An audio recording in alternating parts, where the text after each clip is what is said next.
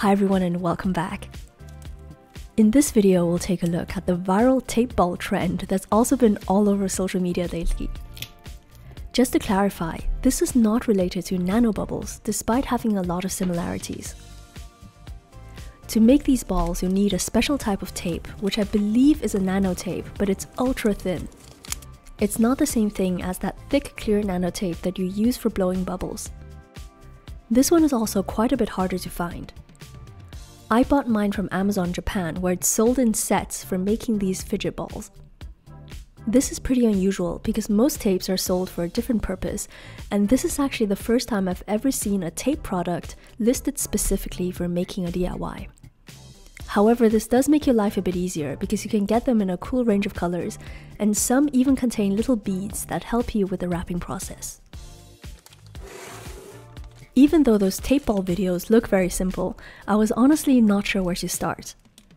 I took the plastic bead and started wrapping it in the tape, but something about this quickly felt wrong. The tape was too plasticky and didn't stretch. After what felt like ages, I realized that maybe there's a membrane on the tape and the plastic is just a protective layer like the other type of nanotape. So I started scratching around and noticed that the adhesive layer does indeed peel off by itself but despite all my efforts, I just couldn't get the sticky parts to wrap around the bead or do that stretchy thing you see in viral videos.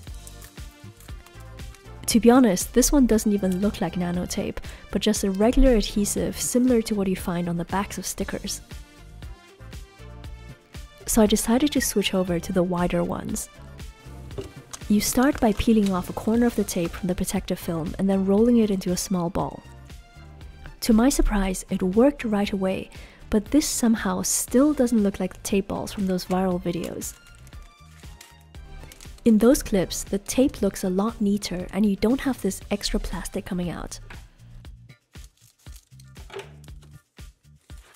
I was pretty confused, thinking that I'm somehow peeling the film off the wrong side, and I spent ages fiddling around trying to get it to look right. However, I eventually realized that all those viral clips are actually tricking the viewers.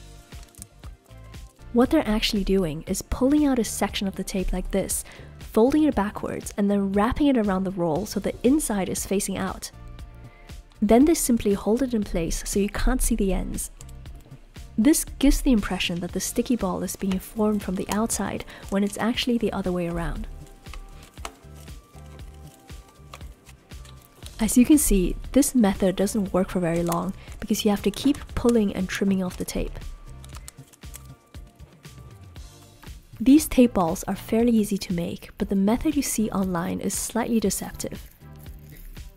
It should actually look like this when you're making it, and there's always a lengthy piece of film hanging off the end. Almost all of the clips you see online use really quick cuts and sneaky camera angles to hide this excess tape. The reason is pretty simple because it just looks weirder and people are more likely to watch the video for longer if they don't understand what's going on. But in summary, this DIY isn't that complicated at all once you realize that you're simply making a ball using the adhesive from the inside of a tape.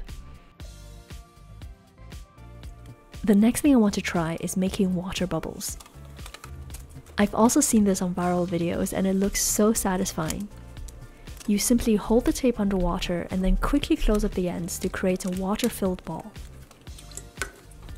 I was really surprised that it worked right away, but my first bubble ended up falling back inside. I tried this a few more times and it's pretty straightforward but very fragile. The tape membrane is incredibly thin and it rips so easily. Even if you manage to complete a bubble like this, it's almost definitely going to break within a few minutes.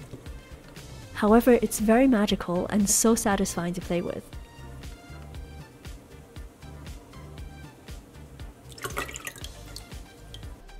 You can also change the design by adding glitter or food coloring to the water.